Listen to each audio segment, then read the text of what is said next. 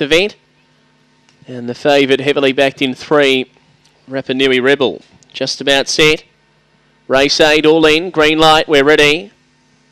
And away, Rapanui Rebel just a fair bit slow and he got a Pratt back near to midfield early on. Away quickly from the middle, Kenzie. Showing speed of Ivanka Rose and there followed Kerry's one, Shocking Onyx. Rapanui Rebel starting to wind up from Soda Street and back toward the tail, Joe Mama. It's Ivanka Rose the leader, Shocking Onyx a length away, but it's Ivanka Rose going really well and Ivanka Rose too good by a length and a half to Shocking Onyx. Third to photo finish.